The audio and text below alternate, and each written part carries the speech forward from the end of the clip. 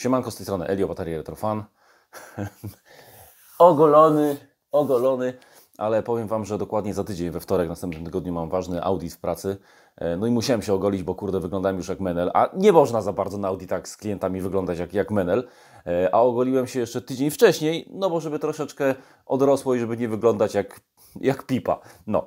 E, mam też koszulkę Commodore dzisiaj, bo w dzisiejszym odcinku, no komodorowcy mogą się troszeczkę źle czuć, może by, być im przykro, no to chociaż, chociaż już tu zerkam na bok, nie? Ale to chociaż koszulkę założyłem, no żeby chociaż tyle mieli szczęścia z życia, że Atari Retrofan czasami ma taką koszulkę, bo odcinek będzie przykry dla nich. E, w głosowaniu wybraliście, żeby pokazać dzisiaj moje Atari pierwszy numer i bardzo dobrze, cieszy mnie to. Tak, tak sobie, tak w duszku sobie liczyłem, że właśnie to, żeście wybierzecie, e, bo na początku wygrywało co innego, ale finalnie, finalnie wygrało moje Atari. E, no i teraz tak poważnie, bez przyśmiewków już, bo odcinek będzie poważny. E, w pierwszej połowie lat 90. były cztery czasopisma o Atari, stricte o Atari, całkowicie poświęcone temu komputerowi. E, pierwszym czasopismem, które pojawiło się w roku 90 było właśnie moje Atari. Pojawiło się w liczbie siedmiu, siedmiu numerów, nie więcej. To Dobra, o tym powiem podczas odcinka, bo tam, tam we wstępniaku tutaj, yy, czego tak, tak, tak, tak szybciutko Wam pokażę. Tutaj jest taki drogi czytelniku i tutaj jest właśnie napisane o co chodzi, to Wam to ten i w ogóle zapomniałem jak się takie wstępy redakcji nazywały, to mi przypomnijcie w komentarzach, bo Atarowcy też czasami potrafią zapomnieć. Yy, w każdym razie w październiku 90 roku pojawiło się moje Atari, a ostatni numer pokazał się wrzesień-październik 91, także no, po siedmiu numerach im się tam nie udało. Troszeczkę jestem na nich zły, z tego względu, że wypuścili to w takim bardzo nietypowym formacie, kurde. I ja strasznie dbam o wszystkie swoje czasopisma, gazetki i, i tego nie idzie upchać w koszulkę A4, no bo jest za duże. Ani to A4, ani A5, taki z dupy numer zrobili. E, generalnie czasopismo jest mega fajne, poza papierem, bo papier to, to dali taki w ogóle. Ja mam wszystkie gazety w perfekcyjnym stanie. To te nie są w koszulce akurat, ale i tak dbam, ale ten papier się w ogóle niszczy od tego, że, że coś na nim leży, nie? że leży drugi numer. On się tak wyszorowywuje, nie? Ale, ale i tak się postarałem, żeby to dotrwało w miarę dobrym stanie. E, czasopismo traktuje o 8 i o 16-bitowych komputerach. E, jest tutaj wszystko. Tutaj gry, programy, jest programowanie, są jakieś recenzje książek, sprzętu. Naprawdę sztosik, czasopismo totalne. No tylko po latach to trzeba bardzo uważać, żeby oglądać. I jak Wam się spodoba, jak się, nie znikłem z kadru, nie. Jak się Wam spodoba ta seria, w ogóle tu oni tak okładkę to mają no, średnio taki pomyślunek, ale przynajmniej trzymają się jednej konwencji, tak jak Secret Service. Na górze zawsze moje Atari numer, tu jest jakieś logo i zawsze jest, zawsze jest ten taki znaczek Atari. Tutaj po, pod górą pod górą Fuji, tutaj jest na jakiejś drodze i tak dalej, ale jak Wam się spodoba, to mam nadzieję, że to pociągniemy dalej, no bo kurno, no bo kurno, w piątym numerze na, na, na tyle jest o Atari TT i to patrzcie, cała taka strona większa niż A4, nie? Dobra, ok, to było pierwsze czasopismo z 90, które się pojawiło w 90 roku to sobie odłożę na biurko. I w ogóle tu, tu jeszcze pod tym miałem, znalazłem mój brakujący numer Top Secreta, to Wam jeszcze pokażę. E, też nie trzymam go w koszulce, tego Top Secreta, bo ma też totalnie... Tam to jeszcze ok, proporcjonalnie urosło za 4 do takiego coś pomiędzy A4 a 5, ale tutaj ten jeden, jedyny numer e, Top Secretu wyszedł w takim formacie z dupy totalnie. Szerszy niż, niż wyższy i w ogóle, ale mam go też w przepięknym kurde stanie. No, tak, tak, tak mi się znalazło. Dobra, drugą gazetką, która się pojawiła e, w połowie lat 90. na dotyczącą Atari, był oczywi była oczywiście tajemnica Atari. E, tajemnica Atari tu mam, tu mam w tymże segregatorze. E, tajemnice Atari najdłużej się utrzymały na rynku, bo było 26 numerów. Pierwszy się pojawił, czekajcie, to chyba tutaj wyciągnę, jakoś w pierwszej połowie, tak bliżej początku 91 roku. No i pierwszy numer, czekajcie, wysunę, to było takie coś, takie nie wiadomo co. Po prostu puścili takie dwie luźne kartki, A3 zgięte na pół.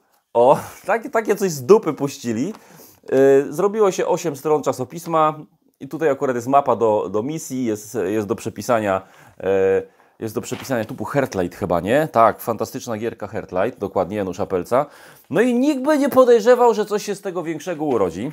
No i po tym pierwszym numerze Pojawił się drugi numer też, taki powiem Wam, czekajcie, zaraz Wam pokażę. E, bo, bo, mam wszystkie poza tym szóstym, co tam kiedyś na społeczności wam, was, wam mówiłem, żebyście mi znaleźli, jak znajdziecie w internetach. Drugi numer to się pojawił taki, wiecie, zeszyt, taki A5 e, i tutaj No i tutaj też kupę, e, kupę programowania. W ogóle gazetka jest generalnie o programowaniu. Jest w niej pełno listingów, e, fantastyczna seria 5 linii, gdzie widzowie wysyłają e, programiki napisane przez siebie w pięciu liniach Basica i coś tam one robią. No i ogromna ilość do przepisywania różnych gier i programów. Na początku byłem zawiedziony tą gazetą, bo nic o grach, ale potem jak się wkręciłem w te przepisywanie tego kodu maszynowego, to patrzcie na to, to jest straszne do przepisania. No to, no to już było super. No i kolejne numery Tajemnic Atari pojawiały się już w standardowym takim formacie, ale to już nie będę już wyciągał. Także to była druga gazetka. E, natomiast, aha, i ostatni numer, mam jeszcze, za, zachrypnąłem się. Ostatni numer pojawił się, uwaga, tutaj sobie zobaczymy, to był e, dziesiąty numer w 93 roku i to był, no bo tu jest za dużo tego ściśnięte.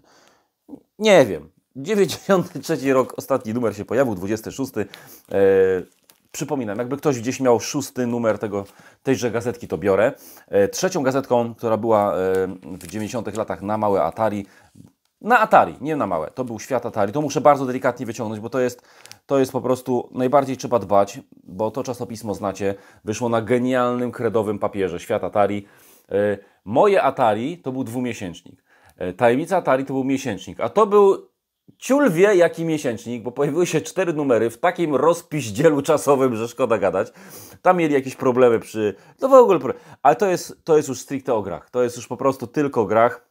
E, na 8 na 16 bit, fantastyczne, fantastyczna szata graficzna, layoutik, wszystko tutaj po prostu pykło tak jak powinno, no ale pierwszy numer się pojawił e, w 92 roku, tutaj nie ma miesiąca na, napisanego, bo dopiero od trzeciego numeru pisali na jaki miesiąc, a ostatni pojawił się styczeń, luty, z tego co pamiętam, czekajcie, zaraz zerkniemy. Ostatni, się, ostatni czwarty pojawił się e, styczeń, luty 94. Także rozpiździel czasowy bardzo duży, szybko padli. Żałuję tego niemiłosiernie, bo robili mega dobrą robotę. E, I ostatnim czasopismem z 90 lat jest Atari Magazyn. Atari Magazyn. To mi jakoś tak najmniej leżało. Chyba nawet żadnego w pełni nie przeczytałem, powiem Wam szczerze. Od razu trafiały gdzieś tam do mojej gablotki, ale mam w doskonałym stanie. To jest po prostu, to jest z fabryki. Z fabryki to jest po prostu. No niby takie jak moje Atari. Też o grach, też o programach, o sprzęcie, o programowaniu. Tu, tu jest nawet, tu się nawet elektronika trafiła też taka. Takie te kreseczki, kółeczka, co elektronicy wiedzą, co wtedy lutownicą zrobić. No i, ale jakoś, jakoś, kurde, o tu seksmisja jest też, ale jakoś mi ta gazetka nie leżała. Pojawiło się 7 numerów. Pierwszy numer był e, maj-czerwiec roku 93. No i po siedmiu numerach zakończyli, czekajcie, to jest w, w ogóle w Niemczech był Atari magazyn. To jest może, może próbowali na Polskę, ale nie pykło, ale nie pykło. I ostatni, siódmy numer, proszę ja Was, jest lipiec, sierpień 9.4. No i tutaj się, tutaj się wszystko pokończyło. E, no to tutaj komodorowcy nam, czekajcie, bo się źle w koszulkę wsunęło, żeby się nie popsuło, nie? Komodorowcy nam strasznie zazdroszczą, strasznie zazdroszczą, bo my mieliśmy taki wybór czasopism, a oni mieli Commodore and Amiga. No ale, no wiecie, jak coś jest konsolą do gier, a nie komputerem, no to tam nie ma za bardzo co pisać o tym. No, bida z programami, bida ze sprzętem jakimś peryferyjnym i w ogóle także słabo. Dobra, bierzemy się za przeglądanie pierwszego numeru mojego Atari. Odkładam na razie, zaraz sobie tutaj rozłożę kamery i zaczynamy. Dobra, zaczynamy. E, co jakiś czas będę tutaj kamerę e, przenosił widok z, gazetki na ten, na ten ekran, jak coś będę chciał dobitnie powiedzieć, szczególnie komodorowcom, także dlatego sobie Maca tutaj odpaliłem, ruszę sobie jeszcze kursorem, żeby coś się nie stało, no i zaczynamy. E, mamy moje Atari numer pierwszy, popatrzcie jeszcze raz sobie z bliska jak to wygląda, tam na górze cena 4,5 tysiąca, październik 90 rok. E, ten projekt okładki jakoś super wrażenia nie robi, ale tak jak mówiłem, mi się podoba to, że są po prostu wytrwali, spójne to jest wszystko i każdy numer był podobnie zaprojektowany, czyli te moje Atari na górze, ten paseczek z datą, wymienione główne rzeczy, które znajdują się w numerze, no i, i w każdej gazetce te, te, te logo Atari jakoś wkomponowane w, w, całość. No i w tym numerze mamy, popatrzcie, jakiś modem, action, pro, język programowania. E, tutaj też nam zaczynamy programować, sugeruje, że jakiś, jakiś kurs się zacznie. Charts, Charts Designer to taki programik, edytor Basica, okna raz jeszcze, Omega Cat. W ogóle Omega Cat to mnie strasznie zaskoczyło, kompletnie tego nie pamiętałem. Myślałem, że jest to programik na Atari ST, a tu się okazuje, no zobaczycie co, no niezły, niezły czat. E, ok, tutaj e, mamy ten taki wstępniak redakcji, redakcji, drogi czytelniku. I tutaj na chwileczkę skoczymy sobie na kolejną stronę, bo e, żeby Wam coś powiedzieć, muszę Wam coś przeczytać najpierw. Popatrzcie. W trzecim i ostatnim odcinku poświęconym rodzinie 8-bitowych Atari prezentujemy bla bla bla bla bla. W trzecim i ostatnim odcinku. To by sugerowało, że kurde, były dwie gazetki jeszcze moja Atari wcześniej, których nie mam, ale nie, nie, nie, to nie o to chodzi. E, tutaj w tym wstępniaku, jak się nazywają takie wstępniaki redakcji? To się jakoś tak specjalnie, specjalistycznie nazywa, to mi przypomnijcie. Tutaj jest napisane, że była seria bajtków, e, gdzie, która była poświęcona tylko i wyłącznie seria bajtków. Dwa numery bajtka były poświęcone tylko i wyłącznie komputerom Atari. No i jak widzicie tutaj setki listów i telefonów do redakcji przekonały ich, żeby, żeby po prostu wydać osobne czasopismo i część ludzi z bajtka się właśnie tym zajęło. E, I popatrzcie, tak wygląda pierwsza rozkładówka. Mamy standardowo tutaj spis treści, programowanie, gry, programy użytkowe, szkółka, instrukcje. No jest tego naprawdę od cholery. E, format jest dosyć duży, literki są małe, także tekstu czytania jest naprawdę co niemiara. E, no i Pierwsza rzecz, na którą tutaj trafiamy, jest wywiad. Wywiad jest z panią Joanną Baranowską, która się okazuje, że jest osobą odpowiedzialną i to jest tutaj świetnie napisane. Popatrzcie, popatrzcie, jak to jest napisane tutaj. Odpowiedzialna w serwisie systemów mikrokomputerowych Atari za obieg sprzętu na linii klient series. Fajnie to jest nazwane, nie? Yy, no i teraz czekajcie, tutaj dam na chwilę. I teraz e, komodorowcy, tacy, to, takie, takie koszulki beznadziejne noszą, co ja mam teraz, to pewnie się śmieją, muszę, o, o, jak był serwis Atari potrzebny, to się psuło gówno, tak jak w piosence. Nic z tych rzeczy po prostu. Atari dbało o klienta i na wszelki wypadek, jakby się cokolwiek miało zepsuć, to stworzyli profesjonalny serwis, zatrudnili tam parę osób i dbali o klienta po prostu tak. A wy co? Wyście do pana Zenka nosili do piwnicy, żeby wam coś tam polutował a my mieliśmy serwis na całą Polskę. Ogarniające wszystko bardzo, bardzo szybko. I jeszcze, jeszcze taka, taka pani miła bardzo tam pracowała, trzyma atarynkę. No, I paznokietki wymalowane, i Atari w ręku, wszystko jak należy. No. E, I tutaj są jakieś tam pytania do tej pani e, padają, ona tam odpowiada, ale tu mi się bardzo podoba e, jedno sformułowanie. O, tutaj jest jakieś tam pytanie, jaka jest Twoja opinia na temat małego Atari, bla, bla, bla. I odpowiedź, bo, ci, bo się cień troszeczkę rzuca. Sprzęt jest bardzo dobry pod względem rozwiązań technicznych. Posiada bogate możliwości audiowizualne, jest łatwy w obsłudze i ma niezliczoną już chyba ilość oprogramowania. No lepiej Atarynki nie można, e, nie można zareklamować. No, także taki krótki wywiadzik, można poczytać o tej pani. Ona tam kwiatki nawet w serwisie dostawała. E, tutaj mamy pierwszy listing do przepisania, Editor Basica. To jest coś na zasadzie generatora kodów kontrolnych. E, przepisując bardzo duże listingi, szczególnie w kodzie maszynowym, e, bardzo często mogliśmy popełnić błąd. No i ten programik tutaj generuje nam takie właśnie, tutaj widzicie z boku MN, ZR, YB, takie kody kontrolne, po których wiemy, że przepisaliśmy prawidłowo program. Dobra, lecimy dalej. To jest, to jest niezbędne praktycznie. Jak, jak, chcemy, jak chcemy uruchomić coś większego z gazety i, i mieć gwarancję, że się nie dupnęliśmy. No i tutaj fantastyczny w ogóle e, artykuł. Takie coś mnie strasznie jarało kiedyś. Nie pamiętałem już tego, bo to było kupę lat temu, ale wczoraj sobie to wieczorem Renia tam se chrapała. Ja sobie tak czytałem przed nagraniem tego odcinka i ja pierdzielę, ile na małe Atari było, e, było dodatkowych sprzętów, które mogliśmy podpinać. E, od takich standardowych, jak tu widzicie, e, drukareczek, które dzieliły się na drukarki graficzne to była chyba ta, tak, drukarka graficzna. Tutaj mówią, że są tam jakieś takie wkłady różnokolorowe, pisaki jest to nazwane. Kurde, nie wiem, muszę to zgłębić temat gdzieś tam w internetach, o co to chodzi. E, czyli takie drukareczki dla pisaki kolorowe, przez drukarki mozaikowe, drukarki znakowe. E, też nie za bardzo wiem, jaka jest różnica. I mozaikowe, i, i znakowe mają igły, ale czym się konkretnie różnią, to muszę kiedyś sobie na spokojnie do, do, do, doczytać. Tych drukarek było na Atari od, od zerepania, patrzcie. Raz, dwa, tutaj 3, 4, no 6, 7 drukarek to, to lekko. No, komodorowcy to, to oni płakali, że nie mają za bardzo wyboru.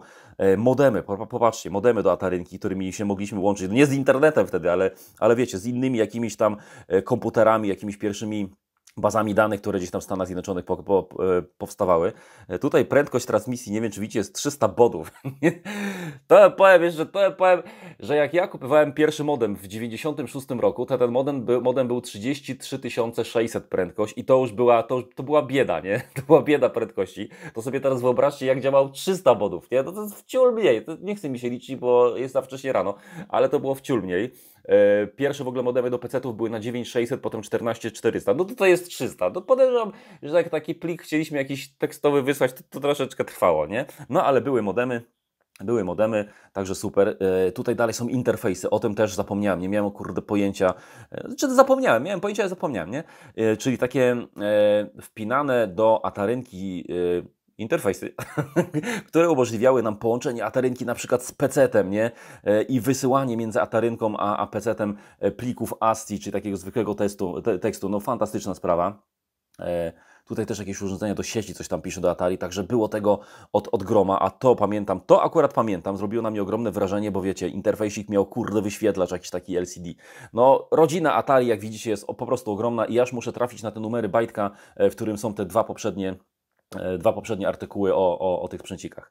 Znaczy o peryferiach do Atari. Popatrzcie, popatrzcie jak to wygląda. Kurde, taką Raven chyba ma drukareczkę do Atarynki. Dobra, e, tutaj kolejny, e, kolejna strona to jest szkółka i zaczyna, zaczynamy programować. I to jest bardzo fajny artykuł, bo nie przechodzimy od razu do jakiegoś języka programowania, tylko zaczynamy od algorytmów, co ja uważam i mój pan z informatyki, który w liceum uczył mnie programować w Turbo Pascalu, e, też uważał, że algorytmy jest najważniejszą sprawą, bo jeżeli nie zrobimy sobie dobrego algorytmu na początku programu, który chcemy napisać, to potem się okazuje, że czegoś nie mamy, coś brakuje, nie przewidzieliśmy jakiejś opcji, a algorytm w postaci właśnie takich schematów blokowych naprawdę świetnie się sprawdza. Możemy sobie rozpisać program w takiej postaci, przewidzieć, co będzie się działo, jak różne tam rzeczy wybierzemy, zrobimy. Fajna sprawa. Dobra, przewracamy dalej. Tutaj jeszcze jest, popatrzcie, jeszcze jest, no ten cień się rzuca, to tak po skosie trochę będę robił. Tutaj jest ciąg dalszy tych, tych algorytmów. Nie no, fajne czasy mi się przypominają z liceum, naprawdę. O, i Wojciech Siętara to, czyli kurde, to, to jest mega kultowa postać w świecie Atari, jeżeli chodzi o naukę programowania. Miałem z nim pewien kontakt przez SMS-a, gdzieś tam jego numer w necie znalazłem, gościu mnie nie znał, ja się tam przedstawiłem i popisaliśmy, kurde, bardzo uprzejmy, fajny. No i mamy pierwszy listing do przepisania gra. Yy, to na, na swój rych dam. Kojarzycie grę Tron? Napierdzielały takie jakieś motory i musiały tam się nie zderzyć, za sobą rysowały tam linie i tak dalej. No to gra w, gra w linie jest właśnie na tej zasadzie. Mamy ramkę dookoła ekranu, dwóch graczy, dwie linie się poruszają, no i muszą się tak, to taki Snake we dwóch, nie? Kojarzycie ze Snake'a. No i tutaj jest taka właśnie gra, e, listing takiej gry, ale z tego co pamiętam, czekajcie, nie, to nie, nie ten program. Potem, potem Wam pokażę. No w każdym razie jest listing do przepisania, głównie linijki data i to jest w Basicu, a obok jest ta sama wersja w Assemblerze. No i to jest jakaś dla mnie rzeźnia niezrozumiała. Nie to, że ten, ten program jest wciul dłuższy, no to nie, no Assemblera kompletnie nie znam. To jest jakiś kosmos dla mnie. Dobra, w każdym razie jest pierwsza gra do przepisania. Nie pamiętam jak ona dokładnie wyglądała, ale, ale musiała być fajna.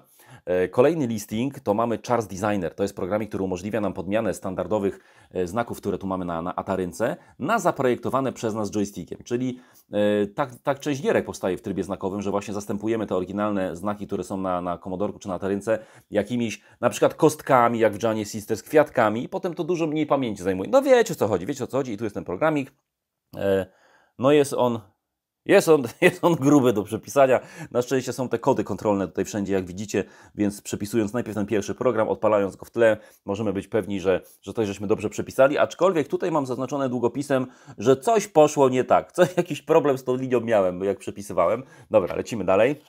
E telewizor, monitor. To tak próbowałem wczoraj wstępnie przeczytać, ale ja się nie nadaję. Ja się nie nadaję takich elektronicznych rzeczy. Tutaj jest jakieś wykonanie jakiegoś układu, który coś tam z telewizora nam poprawi, że tam lepszy odbiór będzie tego naszego komputera. Ja to się nie znam. To są te wszystkie jakieś takie oznaczenia te elektroniczne. To jest kosmos dla mnie kompletny, no ale osoby, które się znają, to będą wiedzieć, co te kreseczki znaczą, te prostokąciki, czy tam płynie prąd, czy nie płynie. No i tu jest wszystko powyjaśniane, co, co właśnie trzeba zrobić. Ale to tak mówię, to, to dla takich lutowników to jest bardziej, nie dla takich graczy jak ja. E, kolejna, i tutaj, tutaj w ogóle, ty, ty, tak sobie potem. Tutaj e, nie zweryfikowali do końca tego artykułu i bardzo taką e, gafę popełnili tutaj w tym takim wstępniaku krótkim, to Wam przeczytam, ale generalnie to jest program do przepisania który nam taki efekt okien tworzy na małym Atari, jest i w Basicu, i tutaj w Assemblerze, widzicie, to jest to jest strasznie skomplikowane. Ale popatrzcie, Taki, taki się program robi, że takie okna się otwierają w ogóle, ale to, co jest tutaj napisane, to jest skandal. Oglądając programy komputerowe na Amstrad, Commodore czy sprzęcie profesjonalnym, na przykład IBM, Amiga, zachwycamy się ich wdziękiem i łatwością obsługi. No skandal, że tu Commodorka wymienili, że ja się zachwycam łatwością obsługi Commodorka. Gówno tam! U nas się włącza komputer z klawiszem Option, a tam się wpisuje jakieś LOAD 8.1 gwiazdka, no. Także tam po prostu, no nie sprawdzili. To kto? No Janusz Pelc, popatrzcie, kur, no taką gafę popełnił, no ale zdarza się najlepszym. Dobra, lecimy sobie dalej. E, I o, tu jest ten Omega Cat, o którym mówiłem. Ja myślałem, że to jest program. Znaczy, generalnie to pewnie służy finalnie do obsługi programów e, typu CAD, ale okazało się, że Omega Cat jest to karta graficzna do Atari ST. No to mnie, to mi zryło beret, bo nie podejrzewałem, że takie rzeczy są do Atari ST. I popatrzcie, Ona umożliwia wyświetlanie w rozdzielczości 1024 na 512 punktów. No toż to jest szok. I 256 kolorów z palety 256 tysięcy. No to się w pale nie mieści, że była taka karta graficzna na Atari ST. Nie wiem, jak oglądam jakiś znawca ST-ków, daj kurde znać w komentarzu, czy coś takiego kiedyś miałeś w łapie, czy, czy, czy wiedziałeś o tym. Dla mnie to jest totalny szok.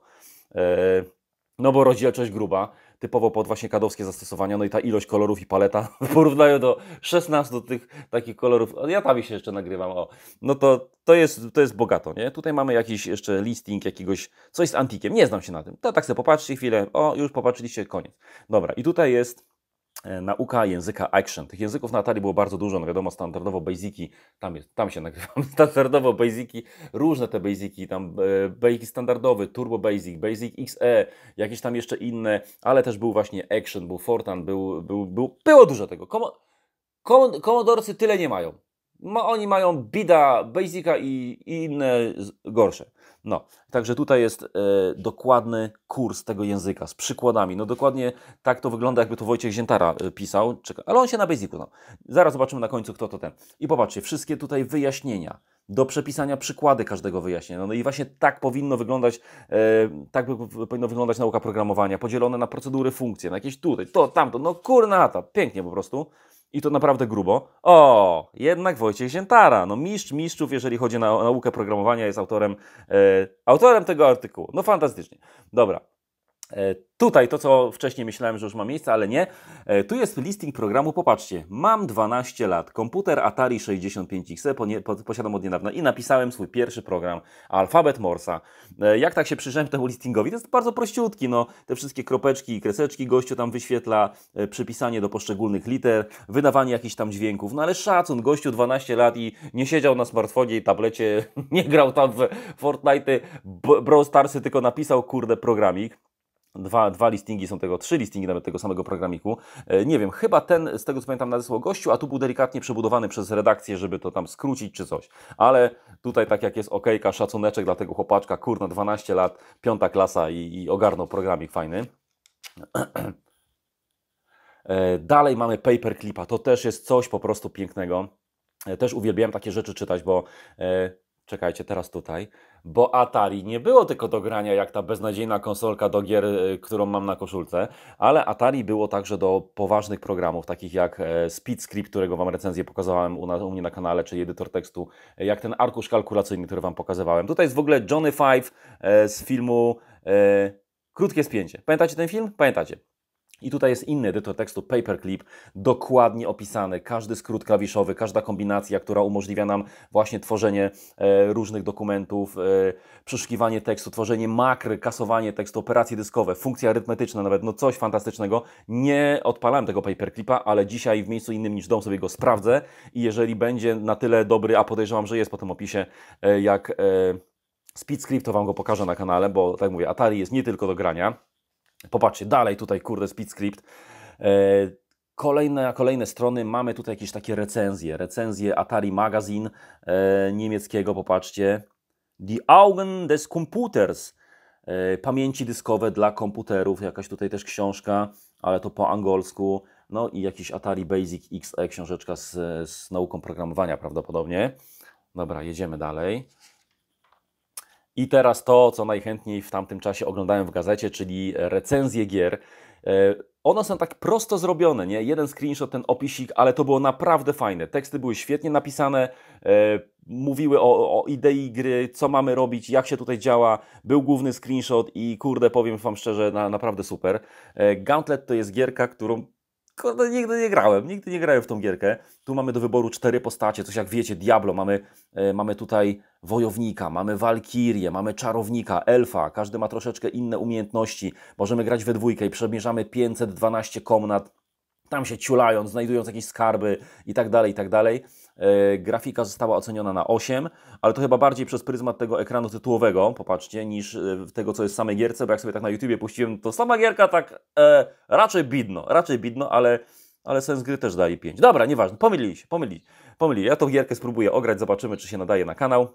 E, kolejną gierką jest Mercenary, tutaj popatrzcie, jakiś taki widoczek 3D, też nie grałem w to, e, wektorki i tak dalej. I się okazuje, że jest to taka gierka, która jest, program łączy w sobie cele gry zręcznościowej, strategicznej, handlowej oraz symulacji komputerowej. E, tutaj musimy handlować, żeby naprawić swój statek, który się popsuł, musimy zarobić kasę na jego naprawę i wydostać tam z jakiejś innej planety. Może być naprawdę ciekawe, może to jest coś w klimatach Czekajcie, tak dam teraz. Może to jest, coś jest w klimatach te, tego, co pokazał e, Bytel jakiś czas temu. Frontier Elite, takiej gierki na, na Amigę, na PC-ty. Może to właśnie na Atari będzie coś takiego, też to sprawdzę w najbliższym czasie. E, kolejna gierka Crusader. Crusade in Europe, to jest taka seria Crusade in Europe, Theater in Europe i Conflict in Vietnam. Fantastyczne gry strategiczne. To komodorcy, to komodorcy nie ogarną, bo tutaj jest skomplikowane. I tutaj dotyczy II wojny światowej jest kilka scenariuszy, możemy się w ogóle wojska NATO wcielić i, i Paktu Warszawskiego. Te warianty, które tutaj są, czekajcie, szybko sobie zauważę.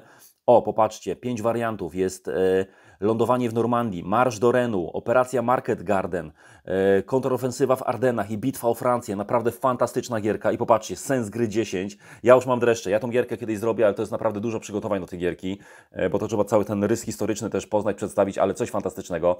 E, Loko. Gierka była na moim kanale, też fajna taka zręcznościówka, e, gdzie widzimy lokomotywę, widzimy torowisko na dole, musimy e, jechać tak, żeby się nie wdupczyć w jakąś drezynę, musimy tankować co jakiś czas, unikać tam jakichś sterowców, lotniskowców, kurna wiecie. Bardzo fajna gierka. No sens to nie ma za bardzo dużo 6, no bo jedziemy w ten, ale jako zręcznościówka, bardzo ładnie wykonana, naprawdę super. Jeżeli ktoś nie widział na moim kanale, zobaczcie koniecznie recenzję, bo jest świetna.